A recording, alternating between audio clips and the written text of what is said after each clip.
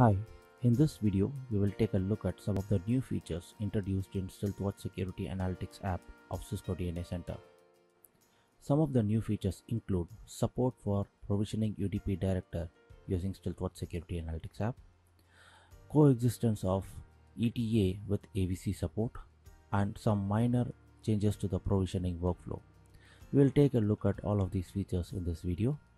As you can see, I'm running Cisco DNA Center version 2.1.2.x.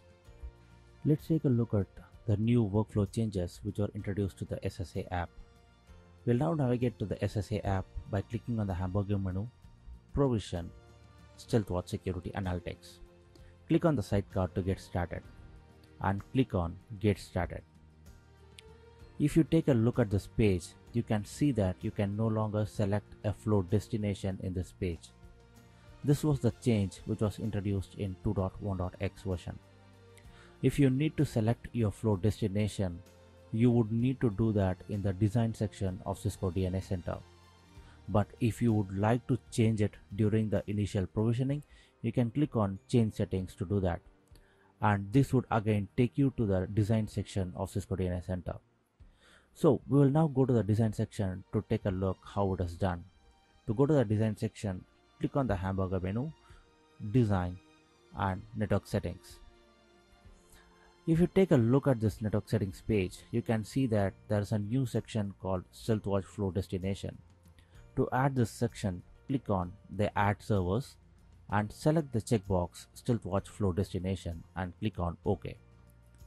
Once you select this checkbox, you can see this new section coming down here and you can see a drop down which lists all the UDP directors and flow collectors which are integrated with the StealthWatch.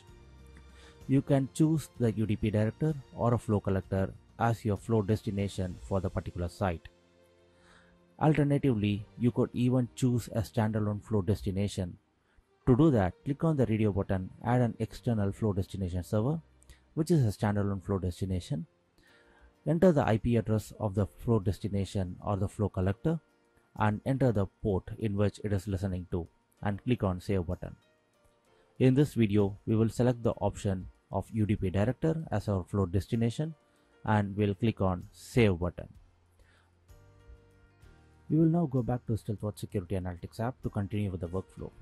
I'll click on the provision, StealthWatch Security Analytics, click on the sidecar to get started, click on get started no changes to the StealthWatch flow destination so I'm gonna click next as you can see there are some new UI changes which got introduced one such change is the exclude device option the toggle button is available to exclude a device from provisioning ETA. you can choose our individual device to exclude or you can exclude all the devices from enabling ETA. uh, we'll make new changes to this option uh, and if you navigate to the telemetry column and do a mouse hover you can see that a new pop-up which says device is running 17.3.1 or above and compatible with AVC.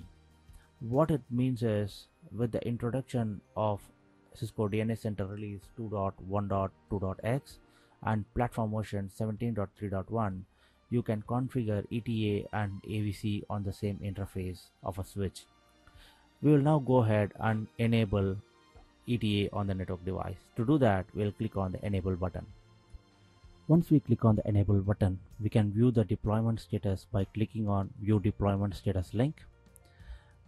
We can see that the provisioning is in progress for the SSA. We'll wait for the provisioning to complete. Now that the provisioning is complete and status shows success, we'll go back to StealthWatch Security Analytics page. To do that, I'll go to Provision, StealthWatch Security Analytics.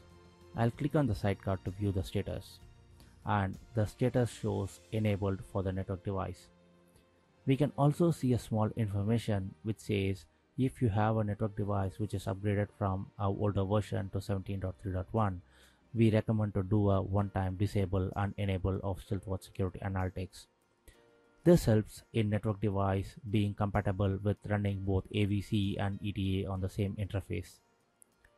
Now that ETA is enabled, we will now go ahead and configure AVC on the same switch and we will take a look at the commands which got pushed to the network device. But even before we go ahead and enable AVC, let's see what commands are pushed on the network device by StealthWatch Security Analytics app. To do that, I'll navigate to the command runner tool of Cisco DNA Center and I'll do a show run command. And if I do that, I, you can see that there is ETA configuration which is configured for a flow monitor. And also you can see that there is a ETA command which got pushed which is ET analytics. And if you go to the interface configuration you can see only the ET analytics being enabled on the interface you can no longer see the FNF config. With this we'll now go ahead and configure the AVC on the interface. To enable AVC we'll go back to the inventory page. To do that we'll go to hamburger menu provision inventory. We'll select the network device and we'll click on action telemetry and enable telemetry once the avc is enabled we can view the status by navigating to the provisioning focus. We can see that the provisioning status is success. We can view the details by clicking on see details. And again clicking on see details from the device controllability and telemetry app name.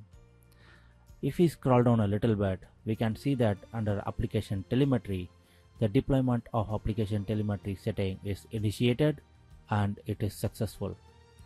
We will now go back to the command runner tool of DNA Center to see what commands are pushed onto the network device. In the command runner tool, we will check what are all the commands which are pushed by enabling application telemetry.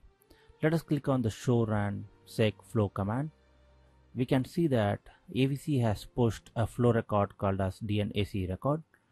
It has also pushed a flow exporter called as DNAC exporter and it has configured a flow monitor called as DNAC monitor which has both exporter and records configured in it. And when we click on the show run interface command, it tells us IP flow monitor DNAC input and output commands are configured on the same interface where ET analytics is also enabled. So with this, we have concluded that we can configure UDP director or any other standalone flow collector as a destination using StealthWatch Security Analytics. Uh, we can also enable ETA and AVC on the same interface from platform release 17.3.1 and DNA Center release 2.1.2.x. This concludes the video demo. Thanks for watching.